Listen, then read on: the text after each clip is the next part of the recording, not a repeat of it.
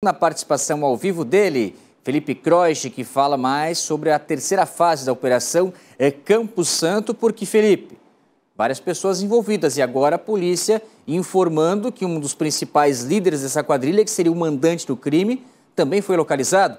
A informação ao vivo no Cidade é contigo, Croix. Boa noite.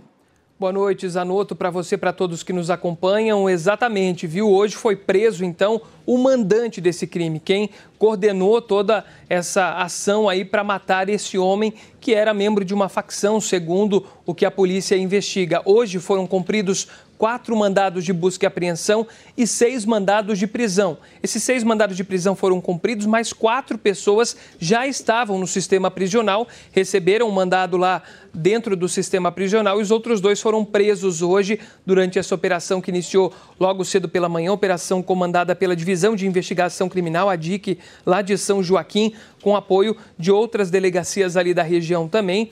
E o objetivo era cumprir mandados para elucidar né, esse crime que é dessa operação que é chamada Campo Santo, que vitimou um homem, um jovem, que foi morto no início desse ano, ali entre a madrugada do dia 5 e o dia 6 de janeiro, e depois de ter sido torturado e também apanhado muito, esse homem foi morto a tiros, enterrado em um cemitério. O corpo dele foi encontrado no dia 9 de janeiro e daí então iniciou-se essa investigação. Foram quatro presos até o momento, hoje mais dois presos e mandados de busca e apreensão em várias residências ali. Inclusive, durante é, o cumprimento desses mandados, um dos homens que foi preso foi encontrado ali com certa quantia de droga, entre cocaína e crack. Também vai responder por esse crime de tráfico de drogas. Ao todo, a investigação da polícia durou três meses, viu, Zanotto? Foi uma grande investigação. 16 mandados de busca e apreensão foram cumpridos. Também outros dois flagrantes de tráfico de drogas durante essa investigação relacionada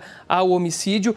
Que a polícia identificou foi que esse homem, vítima desse crime, ele era membro de uma facção criminosa e depois de um desentendimento, ele ameaçou denunciar alguns membros da facção à polícia. Por conta disso, esse homem que foi preso hoje teria mandado matar esse outro que acabou sendo morto lá no início do ano de 2024. Agora, com todos presos, a polícia deve finalizar esse inquérito, encaminhar à justiça e todos devem responder, além desse homicídio que foi quintuplamente qualificado, também devem responder por integrar uma organização criminosa aqui no nosso estado, viu, Zanotto?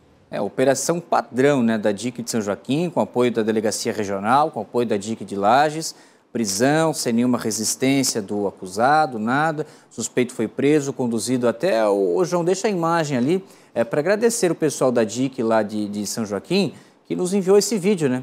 Hoje a gente recebe pouco material da, da, dos órgãos de segurança e eu falava da operação padrão porque deu tempo até para filmar. Ó. Já está preso, já está algemado, não vai fugir. Aí o policial ali com o celularzinho, né? Devidamente também já borrada a imagem dos policiais, do próprio suspeito que foi preso, operação padrão e a divulgação também, então, do serviço da DIC.